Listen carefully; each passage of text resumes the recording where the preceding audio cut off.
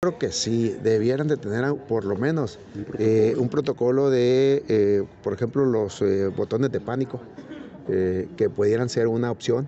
Tienen que actualizarse eso, ese tipo de, moteles, ese tipo de centros, de lugares donde hay, se dice que suceden muchas cosas, algo que pueda permitirle a las víctimas dar una alarma, una alerta. Si bien es cierto, no puedes estar atrás de la puerta escuchando, si puedes por lo menos tener una, opción, eh, como un botón de pánico en cada una de las habitaciones o algo así. Se me ocurre, ¿no? Que, que quisiera pensar en buscar esquemas en donde se pudiera mejorar la situación.